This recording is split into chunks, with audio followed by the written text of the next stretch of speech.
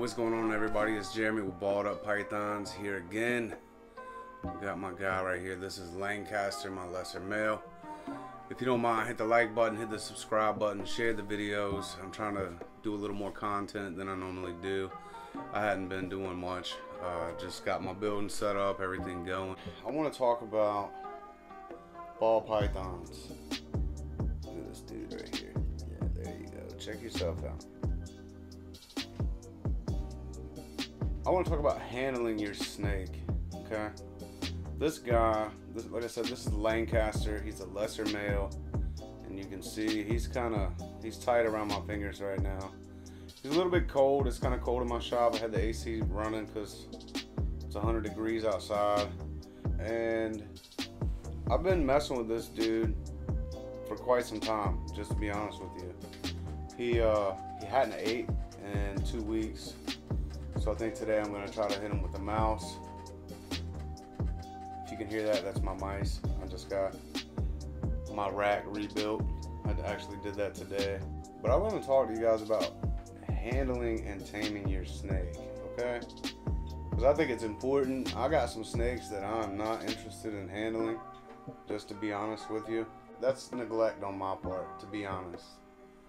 This guy, I, I love this color. I love his patterns. I love everything about him. But at the end of the day, I need to spend more time like with all of my snakes, not just him. But I put a lot of time in with him, so he's he's gonna be my go-to. Like yesterday, I took him to Walmart. You know, day before that, we went to Sheetz. We put some gas in the car. I just wrap him around my wrist. He holds onto my wrist, and we just hang out. You know, just do everyday stuff together. He uh, he doesn't spaz out. Hadn't spazzed out yet, anyways. Um, kind of just hoping he gets to where he can actually eat. So I'll be honest with you, a lot of what I learned about handling my ball pythons, I learned from Chris Harwick on YouTube. He's probably one of my favorite go-tos as far as uh, information and knowledge. Uh, he's just very knowledgeable, and I really appreciate the stuff that he puts out because he puts it out there in like a pretty simple way, to be honest. Um, you got to get over your fear of snakes. I, I, I never thought I would actually own snakes, to be honest with you.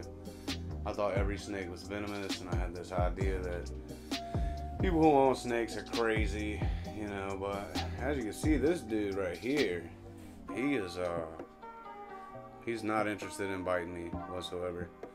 And I kind of took Chris's advice, and I try to handle him about an hour to. Chris says two hours a day for about a week, and they're good.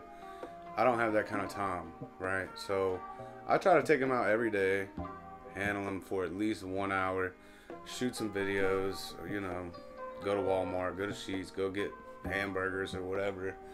And uh, it seems to have worked. Because, like you can tell, this dude is just like, he's just hanging out. You know, he ain't got a care in the world. I would say he actually prefers being handled he's not head shy. People say that snakes, especially ball pythons, are head shy. I think that's a learned behavior. But he likes he likes to wrap his head around my finger, through my fingers, or like just put it up under, put this under his head. He's straight, you know. Because like I said, I was scared to death of snakes for a long time, and then I finally got one, and I was like real hesitant at first you know, I thought every snake was gonna kill me that I ever came in contact with, and uh, this particular breed is not even like that. I mean, yeah, you get some spicy noodles once in a while, and they get upset and stuff, but for the most part, like most of my snakes are pretty chill. I mean, you don't want to stick your hand out there when they're hungry. I mean, just use common sense, you know. But look at the beautiful pattern on this dude.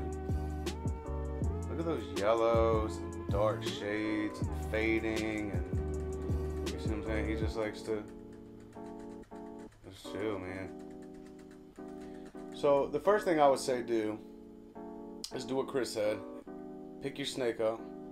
Just hold him like this. That's it. Just don't do nothing. Just hold him for about an hour a day. Two hours if you got it. The more the better.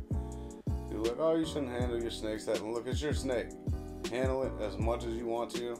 Nobody is gonna govern what you want to do because it's yours. But for me, like an hour is good. I, I, an hour is plenty. I just want my snakes to where if I pick them up, I know they're gonna be cool. It ain't gonna be like a huge issue. Like I could wave my hand in front of this dude, he ain't gonna do nothing. You know what I'm saying? He is not interested whatsoever. But that's because I know, like I know that I've spent the time necessary with him. This is a snake that I'm gonna keep. I'm not gonna sell this one.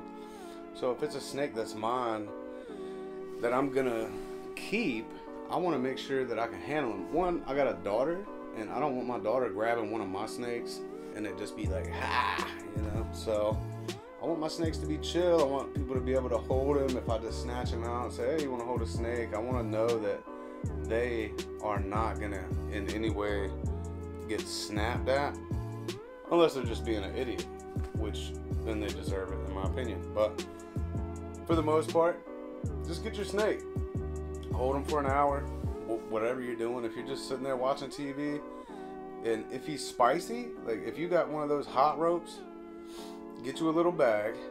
Like I got a pillowcase, I got some little silk bags, drawstring bags. Put them in that, hold them for an hour, two hours. Just run your hand over them until they get kind of used to it.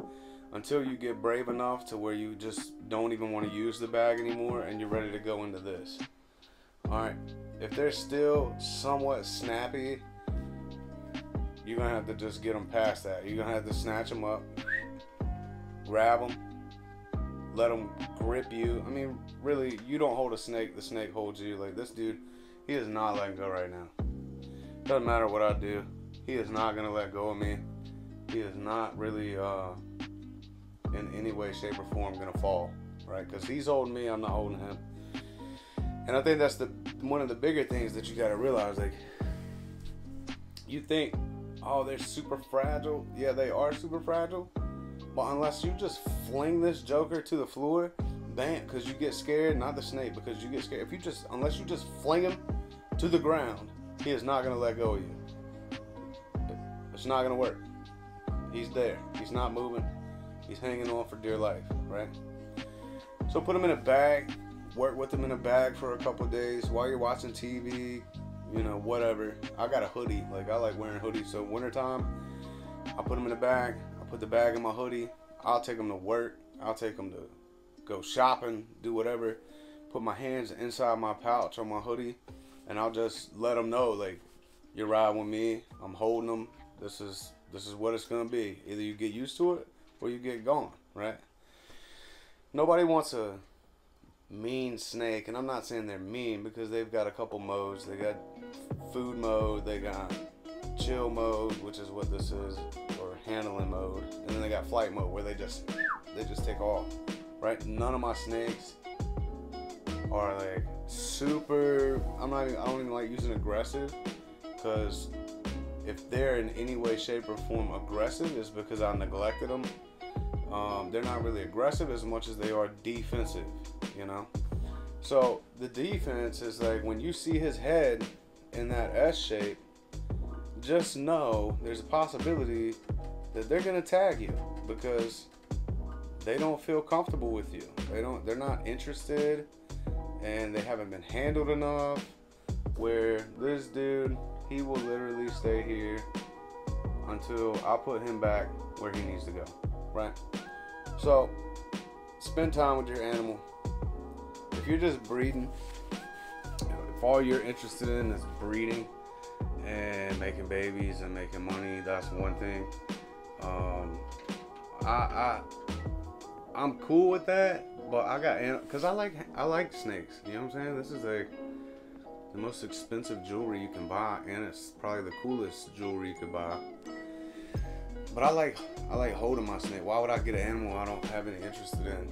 Like, why would I get a dog if I don't want to throw the ball and play fetch with my dog, like chill on the couch or whatever?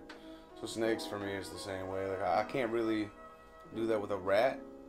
I'm not they're a food source. They're not pets to me. This is not a food source. This is a, a, a pet. although it has potential to make revenue. Um, this dude's just super chill. Man. So spend time with your animals. That's the main thing. And I could pull out.